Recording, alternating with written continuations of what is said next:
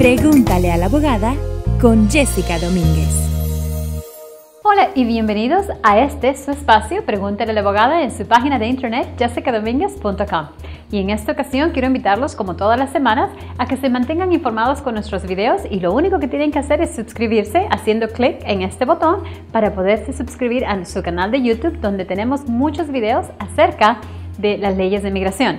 En esta ocasión voy a contestar una pregunta que nos llega muy a menudo y vamos a seleccionar la pregunta de la señora Rosa. Ella nos escribe de North Carolina y ella dice, abogada, apliqué hace más de ocho meses para mi visa U y todavía no he recibido respuesta.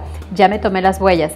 ¿Qué puedo hacer? Primero que nada, al contestar esta pregunta, estoy contestando la pregunta que muchas personas de ustedes que tienen su caso pendiente para una visa U nos están registrando casi a diario. Están preocupados porque se está demorando mucho el trámite de la visa U.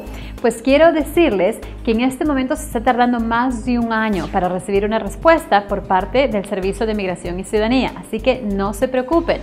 Si es que no han recibido una respuesta, el hecho de que ya les tomaron las huellas quiere decir que su caso va a ser revisado y solamente tienen que seguir esperando. Pero es importante repasar los cinco requisitos para que una persona pueda calificar para la visa U. Primero, la persona tiene que haber sido víctima de un delito violento que lo pueda ayudar a calificar para la visa U. Y por ese crimen tiene que haber sufrido ya sea algún daño físico o emocional.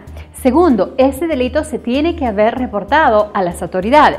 Tercero, usted tiene que haber cooperado con las autoridades. Cuarto requisito es que el crimen haya sucedido aquí, dentro de los Estados Unidos. Y quinto requisito, y muy importante, es que las autoridades certifiquen esta información.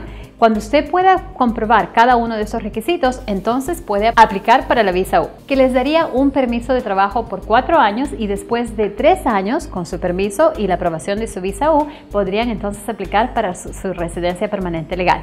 Así que no se preocupen si tienen su caso pendiente en este momento, se está tardando más de un año y pueden siempre visitar la página de internet del Servicio de Migración y Ciudadanía, uscis.gov uscis.gov para poder averiguar el estatus de su caso.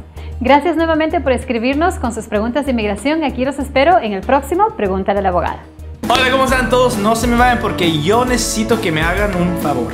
Por favor, miren cualquier de estos videos que están aquí abajito de nosotros para que agarren más información acerca de las leyes de inmigración.